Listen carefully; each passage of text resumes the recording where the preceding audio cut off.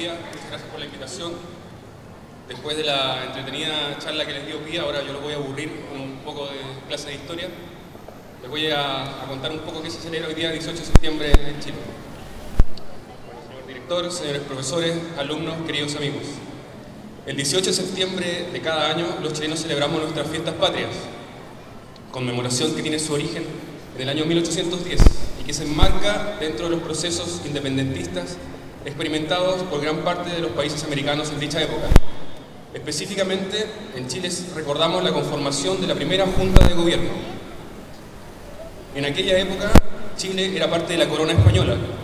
En 1808, Napoleón invadió España y tomó cautivo al rey español Fernando VII, como dijo Vía, poniendo en su lugar a su hermano José Bonaparte, que era conocido como Pepe Botella.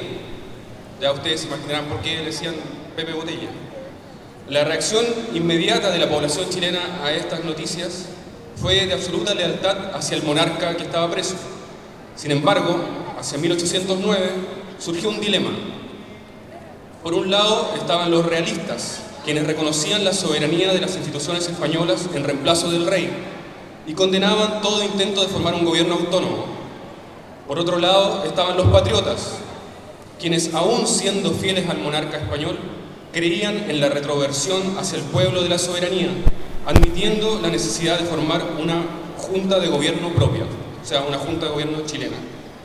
Es así como, bajo estas dos vertientes, pero siempre fieles al monarca español, se constituye la primera junta de gobierno, en la cual se fusionó tradición y reforma, sin embargo, este movimiento derivaría más tarde hacia una radicalización de las posturas y a una ruptura definitiva con España.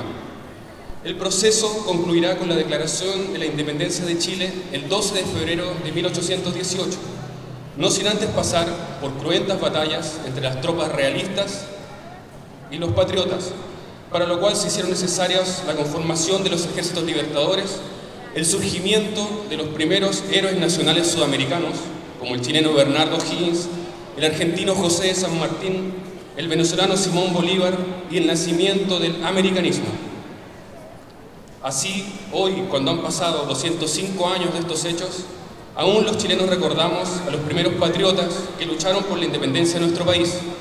Al igual que ustedes, queridos amigos dominicanos, celebran los 27 de febrero el honor y la gloria de Duarte, Sánchez y Mella que viva Chile y que viva la República Dominicana.